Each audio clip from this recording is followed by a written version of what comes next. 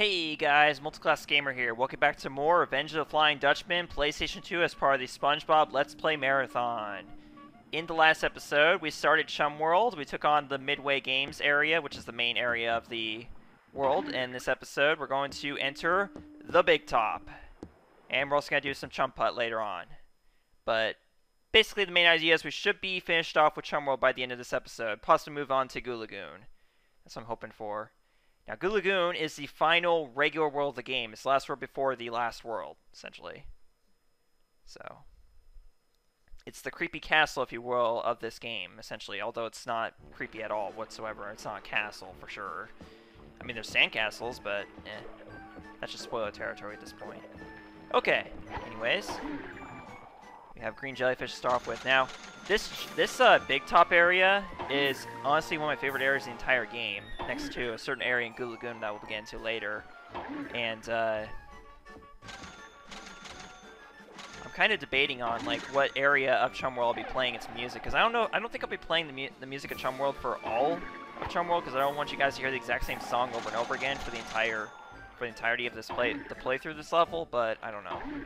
Again, stuff I'll be thinking about in the future when I'm editing this Let's Play. So to get this doubloon, you just grab it, and then it kills the, the clown. How funny is that? So like, was that like symbolism for capitalism or something like that? Just take the money away and then the clown dies. Reminds me, reminds me of something. I just don't know what it is. Maybe it's symbolizing that greed is wrong or something like that. I don't know. Of course, that, makes just, that just makes SpongeBob the greedy one, the one who wins, so... I just don't know how to feel about that message, honestly, whatever it was. Okay, so... You really gotta look around, because they have a lot of pink jellyfish in this area that they... that travel pretty ridiculous heights and come back down for a short time, so... It's very easy to miss them. But what is also easy to miss is the fact that uh, there's a lot of Garys in the audience here. This 2D audience right here. Yeah, it's kind of interesting. I almost want to see like a boundary break of this game. Who else wants to see boundary break of this game? Like seriously, that'd be pretty awesome. Actually, I kind of want. I'm, I'm curious about this audience that's here in the big top. This pink jellyfish is one of those ones that's easy to miss. It just kind of goes up and down between uh, this thing and the um, big top area. Well, you know what I mean. It goes from level to level, essentially. We have a blue jellyfish here in this uh, circle. We have another clown. And this is kind of funny. We've got these two clowns like firing outside out of the cannons, so gotta feel bad for them actually, if anything. I don't think they hurt, they even hurt you if you touch them, honestly. But first things first, I'm gonna. Oh, dang it! Ah, missed that jellyfish. Let's get this other one on top of the entrance here. Of course, this will be our exit, so we just gotta make sure you know that later. Do you get hurt from these guys? No, they don't hurt you at all. They just go right through you. So I don't know what the point of that is. It's just to demonstrate the cruelty to clowns or something like that. I don't know. But as we learned in the Season 11 episode, do not feed the clowns. Or else you learn the hard way. So anyways, what you want to do is you want to get on this uh, uh, can here. Now, if there's one thing that the GameCube actually improved on, it was adding crosshairs to the cannons. Without the crosshairs, yeah, it's kind of annoying. Like, how am I supposed to know that I'm shooting that I'm shooting directly at this target? But then again, the GameCube version also didn't have a target where that hook is. But basically, in the GameCube version, that hook was my target, so I already knew to shoot in the direction of that target. But this is not the only time you'll be using cannons, by the way. They come, they become a lot more relevant towards the end of the game, actually. Fact, actually, it's the last few words of the game that they become relevant. Oh, I think I... Oh, crap, I missed that jellyfish. Well, too late now. We're already making our way to the top of the big top. It's already too late for that. Too late. Okay, we won't be able to get to that jellyfish quite yet, but let's make our way over here. Yeah. Give it to me. Yeah! That's right, audience. See, this audience is representation of you guys, the, you, the viewers watching this video. They're going, yay! Whenever I get on this, the swing successfully. Alright. Uh, About. Okay, so let's go back here and get this jellyfish. This is how you're supposed to do it, essentially. Unless you want to waste your time jumping down here from below, from above to get to this jellyfish, you can if you want to, but I wouldn't do that. That's just a waste of time. Okay, grab this hook right here. Now guess our doubloon, our doubloon layer tile. Nice. So we're starting to get really high up. Again, fortunately don't have fall damage this game, so it's not a big deal actually be this high up. But in real life, yeah, I'd be pretty terrified because I'm afraid of heights if I didn't make it clear enough. Well, of course, in Season 11, we learned that SpongeBob is afraid of heights too. That's pretty cool. It's good to know I share a, a fear with my, ah, favorite cartoon sponge. Sponge. Don't sponges absorb fear, though? That's what I'm always wondering. Okay, anything else over there? Nope.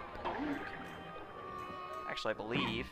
Yep, you now have enough jellyfish for a layer. But more importantly, this swing right here, I don't know why, but I always have a lot of trouble with this thing. I don't know what how it works necessarily, but like I always fall through it the first few times I stand on it. I don't know what that is. But anyways, make sure you just land on this pipe right here, and then you can easily make your way back up to, if you, if you time it just right, you can jump onto this thing and actually use this platform to get back up to where the swing is. Okay. So otherwise, if you fall really far, yeah, you could waste a lot of time to get back up to this where the swing is, but there we go. Made it back up to where it is. Thank you guys. Thank you viewers. You guys seem pretty overjoyed about me just simply jumping onto a platform. Why can't you go yay whenever I collect a jellyfish? You know, something meaningful like that. Alright, so you want to aim up, aim up at this target, now you to get to this layer tile right here. There we go. There's one more layer tile to get, and we'll be done with jelly with a uh, world at least for now. Uh, but I seem to miss I'm missing one jellyfish though in here. I'm pretty sure. It's that one. Uh... Oh no, that's the one that's at the very bottom, right? Okay, so let's not worry about that. Let's just. Uh... Okay. Okay, here we go. Aw. You're supposed to yell like boo, like whenever you fall to the bottom, but they only seem to do like in certain areas or something. I don't know. Maybe it's not even, not even in the PS2 version. I have no idea. Either way. Alright, um, up next, uh, oh yeah, we need to get that jellyfish.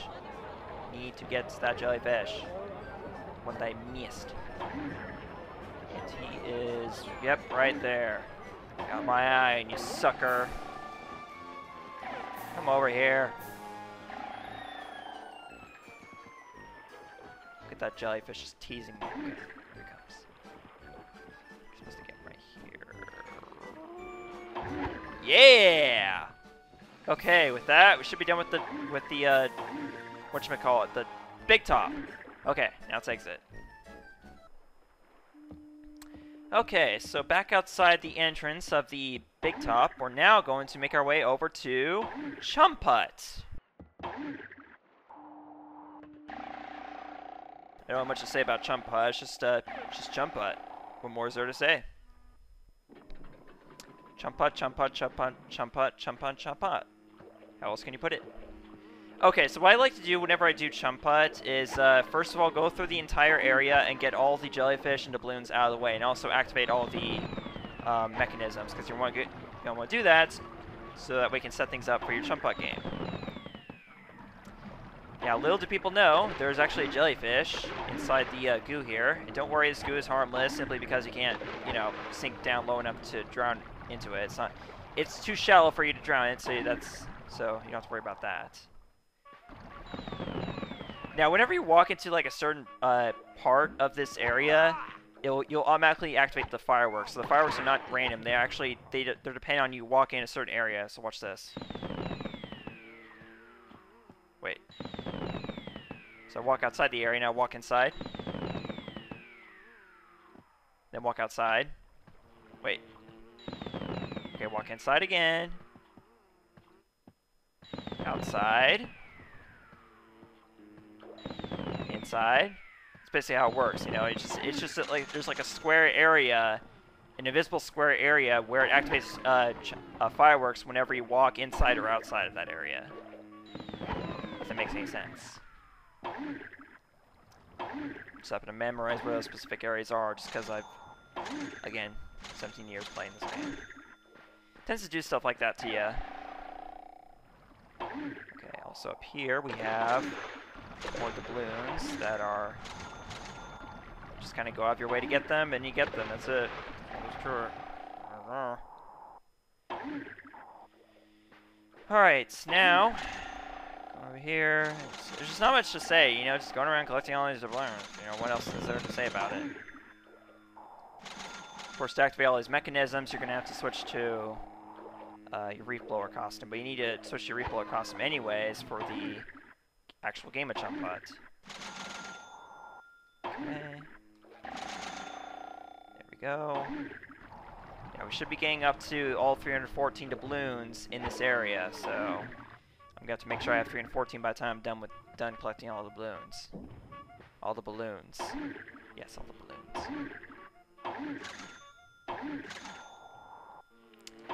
So yeah, we'll definitely be finishing off Chum World as much as we possibly can in this episode. But uh, yeah, I guess the next episode will be dedicated to, Lagoon.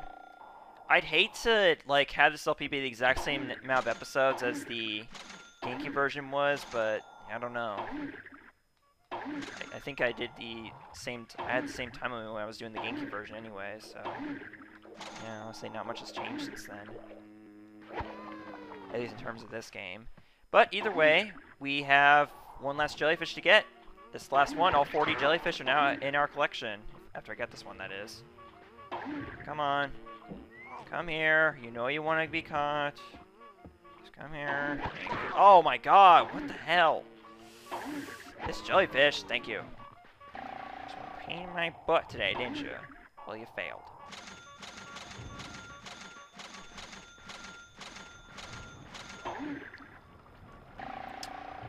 Okay. Just uh, nine more doubloons. And I know exactly where they are. I just remembered. Okay, so I'm not worrying more, but uh, is there anything else? Nope, I guess not. So at this point, we're going to switch to our Reef costume. And the last nine doubloons of Chum World will be achieved by playing Chum Putt. So, let's get into our costume and get ready for this. Most epic game of a putt you'll ever see. Do I just roll around to play this game? I can do that. The object of Chum Putt is to roll this ball to the top of the course. But you've got to hit all the goals along the way. So, do you want to give it a try? Let's get this ball rolling. Honestly, SpongeBob can push a ball, but whatever. Nope, we need the reef blower for that.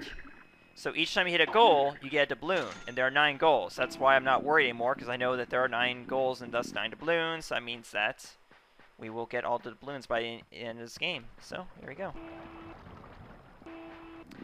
Now, the GameCube version really messed up the, the hills in this game of Chum Putt. Just another reason why I prefer the PS2 version now. After playing this version, because, like, in this game, the hills actually work with the with the ball. It, the ball doesn't actually fight with you to go up hills. And that's something I love about this version. If I, I made that quite clear already.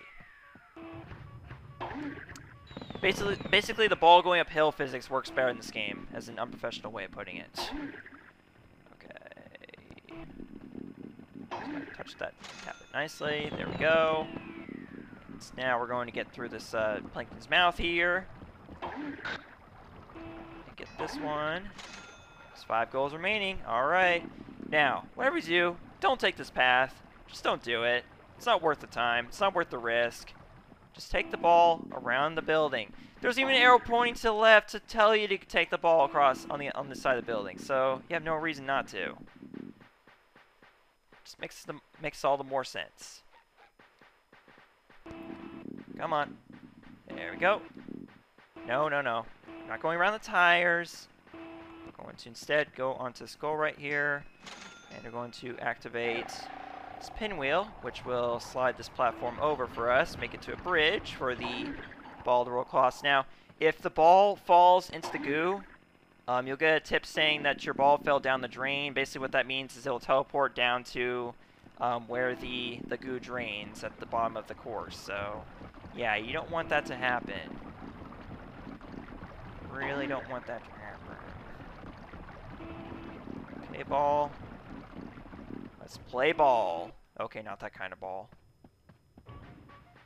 Just the kind of balls I like. okay. Hit that target there. I said hit that target there. Thank you.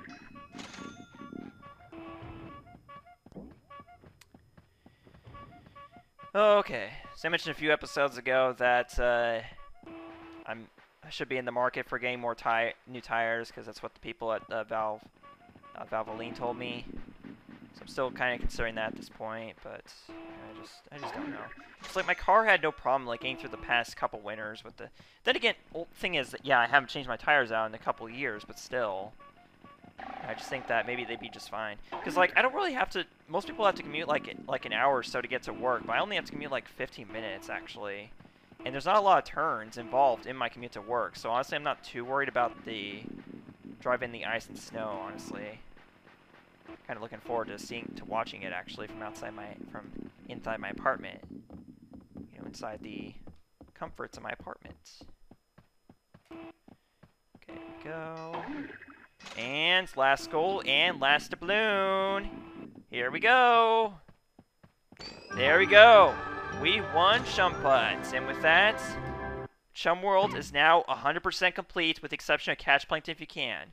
And in order to unlock Catch Plankton if you can, we have to complete Goo Lagoon first. And so, we're going to be doing that uh, now, I guess. We're only up to 18 minutes of recording. That's before all the cutting. So, everyone, let's head outside Chum World. Because there is no more business for us to do here. With the exception of, uh, come back for Plankton later.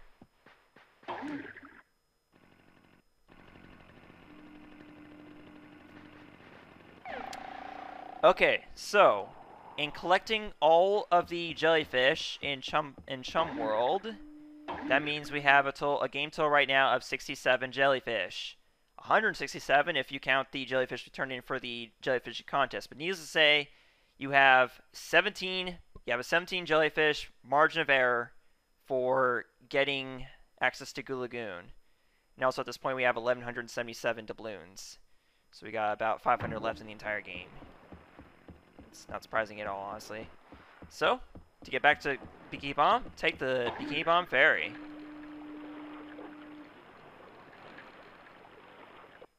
Sup, Larry? For the last time, I'm not giving away my extra bus ticket. I'm not here for your measly ticket, Larry. No, I was just taking a long stroll to think of all the ways I can use these jellyfish. There's jellyfish jam and jellyfish jambalaya, candied jellyfish and jelly pot pie, tentacle twists and jelly pops. I can't stand it anymore. Take the bus ticket and hand over those jellyfish. Or maybe we are eating jellyfish. That's pretty much what it sounded like. Well, let's take the bus ticket and never speak of this again. Because now, friends, we have access to Goo Lagoon. Just so happens the bus stop is also right here. So, I will uh, enter Goo Lagoon, and we'll check out the world before we end off this episode. Let's go. Goo Lagoon, the sand, the surf. There is nothing like being at the ocean. Except being under the ocean. They took that voice clip directly from Employee of the Month. Okay, so check this out. In the uh, GBA, or not the GBA version, the GameCube version, this sky was really dark. But here, it's actually nice. It's actually bright out like it should be. And I love that.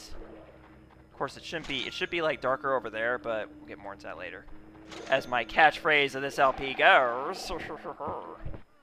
so anyways, in Goo Lagoon, you have sand dollars to collect, and this time they're just lying around. You don't have to pick them up as tips or anything, which makes me wonder, how could there be money just lying around everywhere? I mean, like, doubloons I can understand, because, like, it's the Dutchman's doubloons, so maybe there's, like, curse or something. Nobody else can pick them up but us, but sand dollars? Really? People just leave it lying around? These are $10 bills, by the way. So I'm having a hard time believing people lie leave this many sand dollars lying around. But either way, we'll just kind of explore this, uh, this area before we uh, end things off here and uh, ruin this child's dreams. Uh, poor kid. Yeah, he's uh, he's pretty looking pretty traumatized there. I'm sorry, kid. I totally ruined your life. And with that, on that note, everyone, we're gonna end things off here. So next time on Revenge of Flying Dutchman, PlayStation 2, we will finish our adventure through Goo Lagoon. Well, more like continue, because uh, yeah, there's a lot to do here. Thank you. Goodbye. Hey guys, thanks for watching this episode of Revenge of the Flying Dutchman. I'd like to give a special shout out to currently my only patron, JC the Texas Scratcher. If you like what you see, consider support me on Patreon and subscribing and clicking like button for notifications. See you guys in the next video tomorrow. Bye.